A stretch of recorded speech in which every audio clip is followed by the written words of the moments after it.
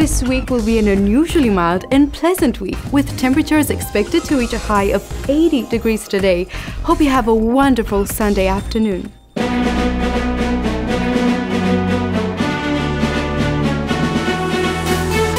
Good afternoon, this is Chad Broseph with major breaking news.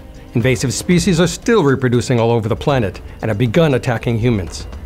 We connect now to our live feed with soldiers on the battlefield. Hello, can you hear me?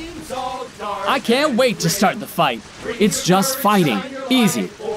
I'm lucky today. The bullets won't hit me. Let's hang out tonight, everyone. Let's see who kills the most enemies. I've always wanted to be a soldier. Now my dream comes true. I heard about the war situation.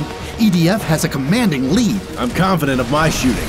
Just count on me. It's just pulling the trigger. Piece of cake. I've got some juicy steak.